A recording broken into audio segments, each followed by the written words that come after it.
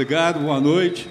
Boa noite a todos. É com muito prazer que eu estou aqui participando desse maravilhoso festival de Jericoacoara e também homenageando esse extraordinário músico que é Hermeto Pascoal, 80 anos. Parabéns, Hermeto. Músico que eu, no final da década de 50, início da década de 60, eu ouvia o Hermeto tocando no Regional de Pernambuco, na Rádio Mauá, naquela época.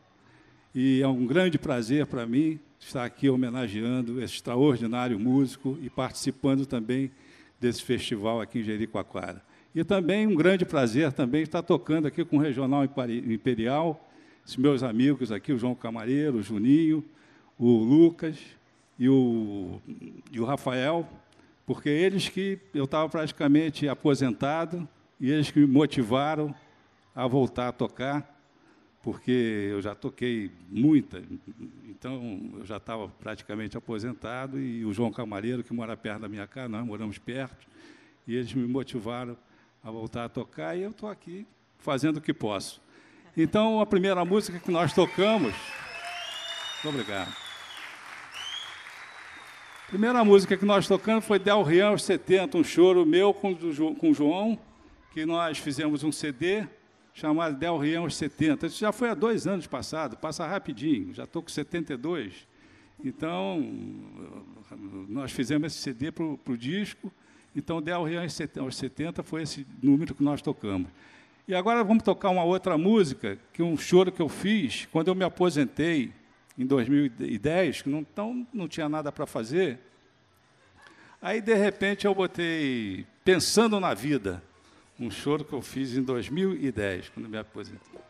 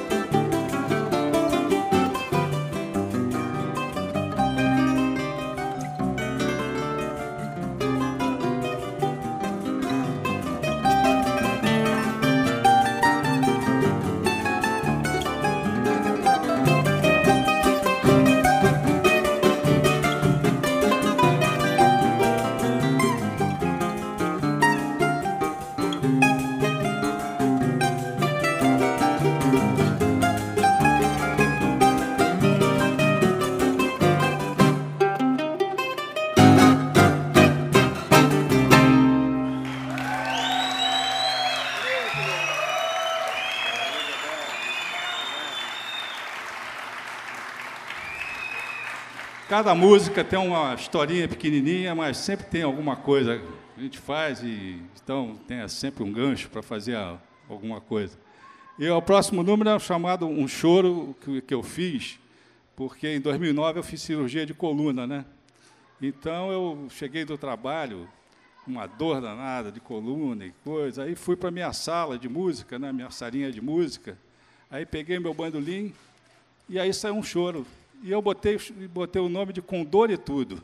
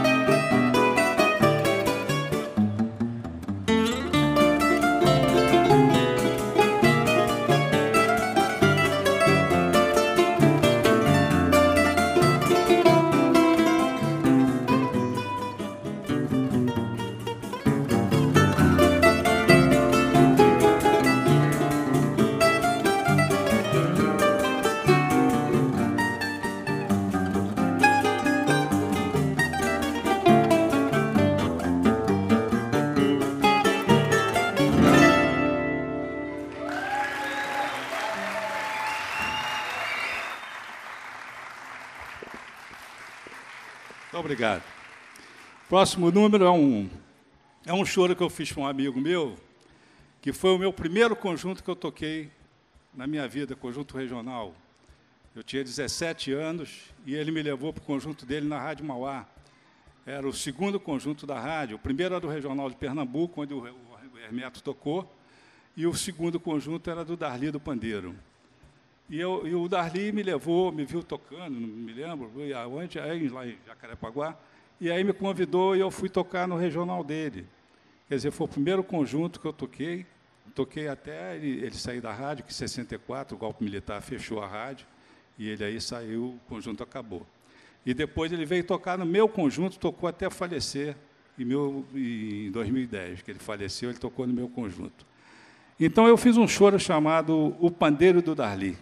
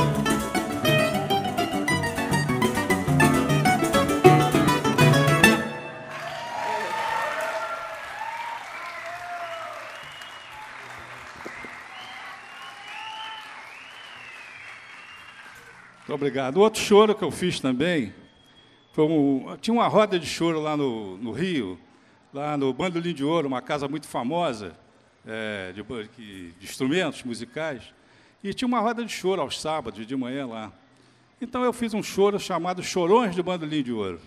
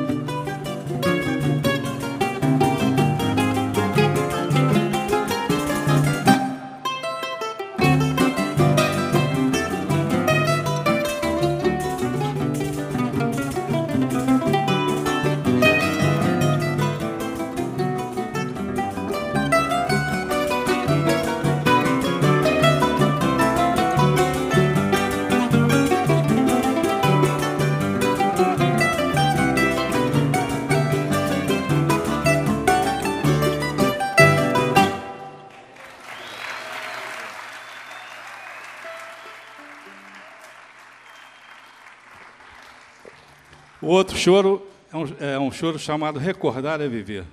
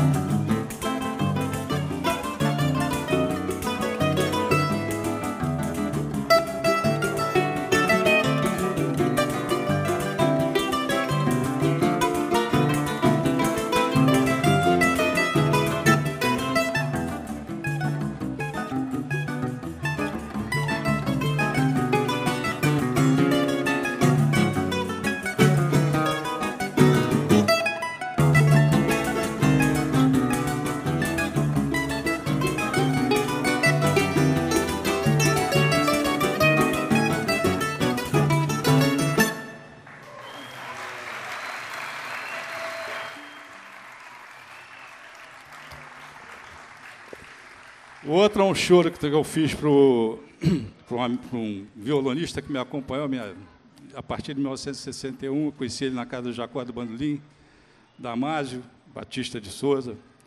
Ele era um grande violonista, que tocou comigo até falecer. E eu fiz um choro para ele chamado Lembranças de um Violão.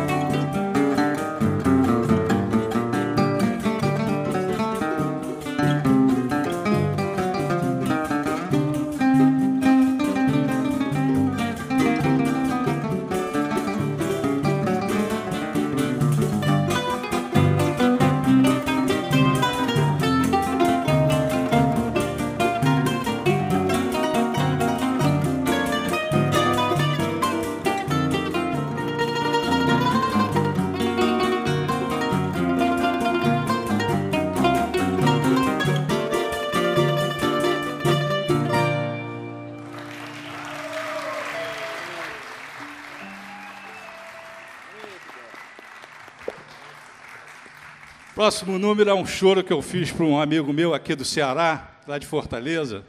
Ele já faleceu, Elismar Ponte, que estou aqui. Inclusive deu as primeiras noções de bandolim para o Jorge Cardoso, um grande bandolinista aqui cearense. E, e o Edismar, ele, ele era muito meu amigo, né? Então ele gostava de, de me ver tocar naquela época. E, e aí começava, ele gostava muito de acordes assim, alterados, né? essas coisas assim acordes alterados, conhecia bem o bandolim. E, eu fiz um choro, ele era da Marinha, e eu fiz um choro chamado Marujo no Choro. Fiz um choro para ele chamado Marujo no Choro, ele, ele ainda em vida, ele, ele viu esse choro.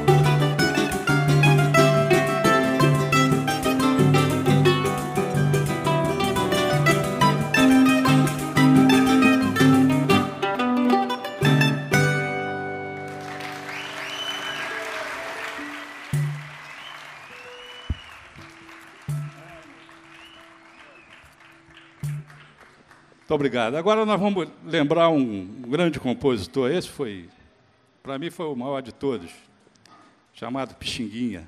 Esse foi o maior chorão. Foi o que, o, foi que, entrou, foi que deu a rítmica ao choro, mudou a maneira de tocar o choro, que antigamente era só polca, né? E ele deu a rítmica ao choro, introduziu inclusive o pandeiro no choro. Então nós vamos tocar do nosso grande Pixinguinha, que morreu numa igreja e nasceu no dia 23 de abril, dia de São Jorge, que era um santo, nós vamos tocar um choro chamado, porque ele, ele quando a gente perguntava, Pixinguinha, como é que você vai? Ele dizia, sempre batendo com a perna, né? tinha essa mania de ficar batendo com a perna assim. Ele dizia, vou vivendo, e fez um choro chamado Vou Vivendo.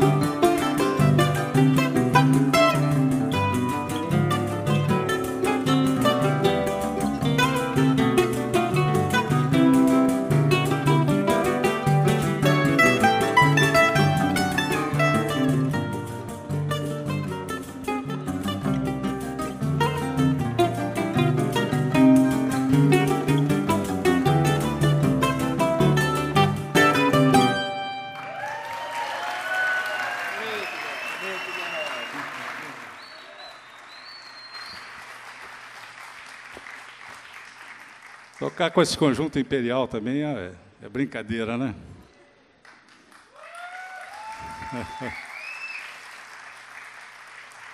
Turma nova e muito boa. Bom, agora o próximo número é, um, é um, uma música do meu grande amigo, foi um grande amigo que eu tive também, arranjador meus, da maioria dos meus discos. Eu acho que só tive um disco que ele não fez arranjo, os outros ele, ele fez todos os arranjos, tocou comigo, pouco, até pouco antes de morrer. O maestro Orlando Silveira, que tocou no Regional do Canhoto, muitos anos no Regional do Canhoto. Então ele fez uma música chamada Tema de Telk. Telk era a esposa dele. E nós vamos tocar.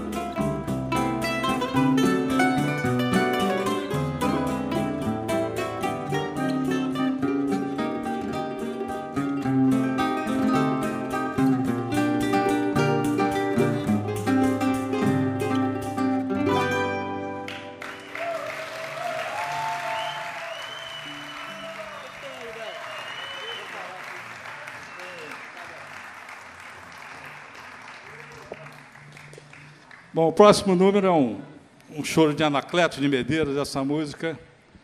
Eu gravei com Época de Ouro, quando eu tocava no Época de Ouro, e nós gravamos. E aí, sem nenhuma pretensão, e isso foi em 1975, sem nenhuma pretensão, nós aí combinamos de mandar a música para o. Ia entrar, ia entrar uma novela chamada Pecado Capital.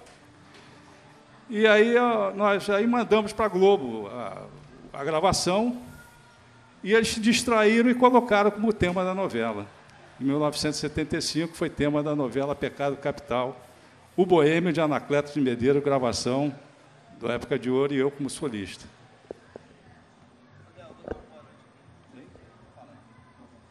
Boa noite. Antes da gente tocar o próximo número, eu só queria agradecer muito a presença de todos vocês aqui. É, como já foi dito, eu acho que a grande razão disso tudo acontecer é porque vocês estão aí. Né? É, queria agradecer muito o Capucho e todo o pessoal que faz isso acontecer, por tornar isso possível, a gente poder vir aqui, tocar ao lado desse mestre do bandolim. Obrigado.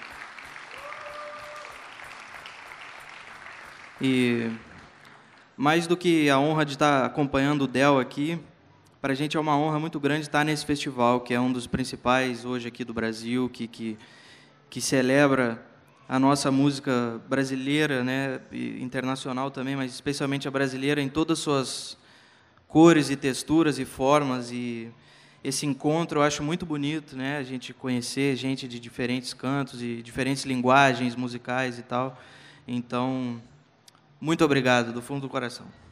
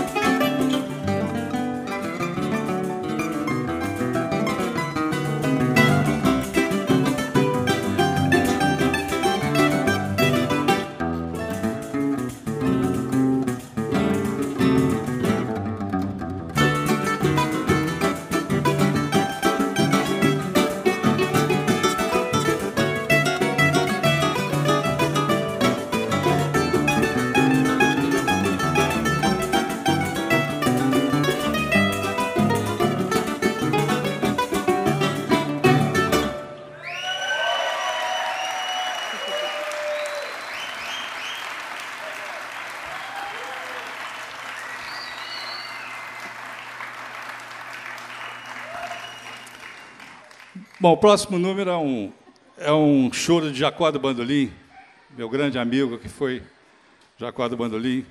Conheci o Jacó em 61, tinha 17 anos. Também fiquei amigo dele nós, até ele falecer em, 60, em 1969.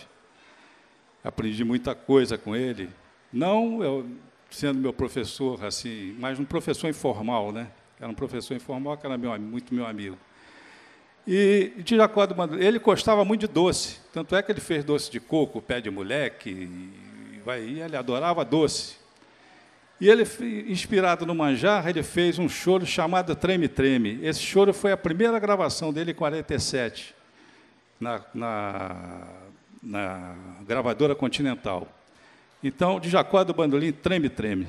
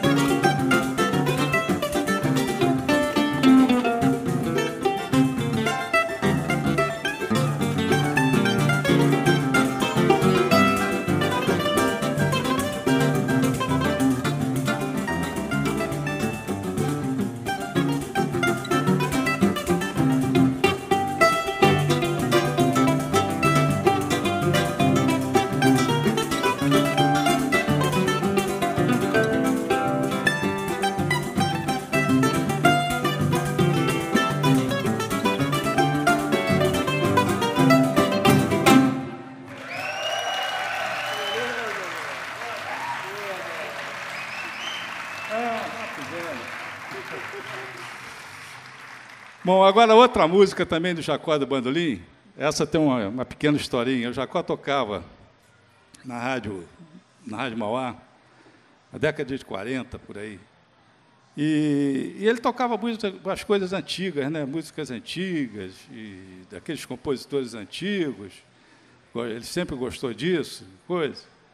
E um programa muito ouvido. E aí começaram a dizer que o Jacó tocava quadrado. Ele disse que não entendia nada, porque o quadrado ele não sabia o que, nem o que era isso, tocar quadrado. Ele disse: ah, é, então já que estão dizendo que eu toco quadrado, eu vou fazer uma música redonda. E como ele tinha um violonista que tocava muito em, em baile, guitarrista, era um violonista jazzístico e tudo, solava muito bem, ele aí fez um choro chamado Remeleixo, que o Fernando, que o Fernando Ribeiro faz o solo na, na gravação. E aqui o Juninho vai fazer o, também o, o João Camareira, eles vão fazer aqui. A gente vai brincar aqui.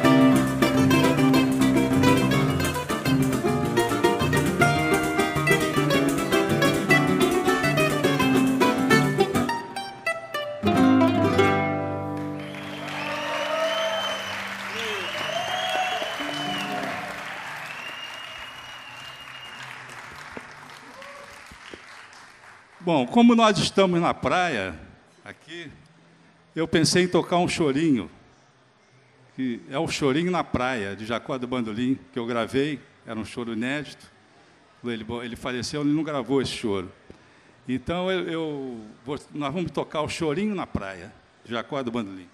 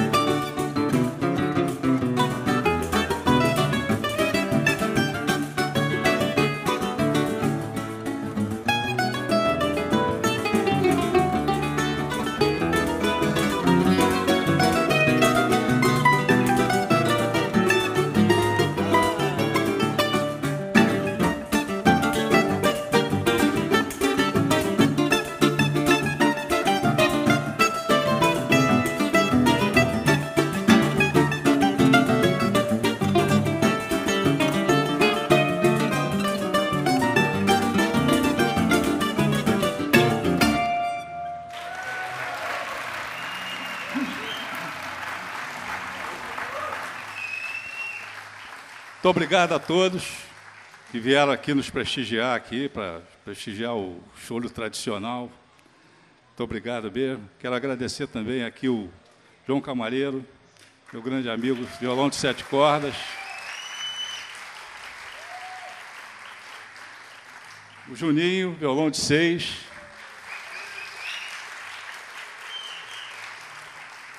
Lucas, cavaquinho.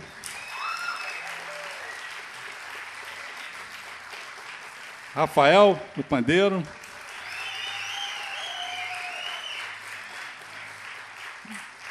Enfim, fiquei muito feliz de participar desse festival aqui em Jericoacoara. Muito bonito mesmo, muito legal. Tá, muito obrigado. Muito obrigado. Del Rian Bandolim, que ele disse. Muito obrigado. Bom. Muito obrigado. Então, para encerrar, para encerrar, eu vou, nós vamos tocar. É, daqui a pouco os matutos estão aí para mandar brasa, né? Eles são muito bons. Então, para encerrar, eu vou tocar um choro meu, porque eu tenho que tocar minhas músicas, né? Porque senão não dá, né? E vou tocar um choro chamado Moço Velho. Por que Moço Velho? Primeiro porque o Jacó do Bandolim foi chamado de moço velho logo no início da carreira dele. Ele tocava músicas antigas e o pessoal na rádio, na rádio Mauá, né? quando ele começou a fazer, na rádio Ipanema já, que ele começou a fazer o, o, o arquivo dele, E o pessoal ouvia ele tocar e mandava música antiga, música antiga, música antiga, chorões antigos, mandava para ele. Aí começaram a chamar ele de moço velho. E depois, mais tarde, isso aconteceu comigo também. Eu, com 16, 16 anos, por aí, mais ou menos, eu comecei a já botar minhas unhas de fora no bandolim e me levaram no retiro da velha guarda, lá em Jacarepaguá, no Rio de Janeiro, onde, onde eu conheci muitos chorões da antiga, né? muitos chorões, Léo, Viana, irmão mais velho de Pixinguinha, e Juvenal Peixoto, quer dizer, gente que naquela época já estava com 70, 70 e poucos anos, o primo de Pixinguinha já estava com 80 e tantos anos, Honório Cavaquinho, entendeu? daquele grupo Honório, que da Casa Edson, do Rio de Janeiro, papapá. Então eu conheci essa turma toda. Aí cheguei lá, o meu professor era o Moacir com o chorão da antiga também, e começava a me passar músicas antigas.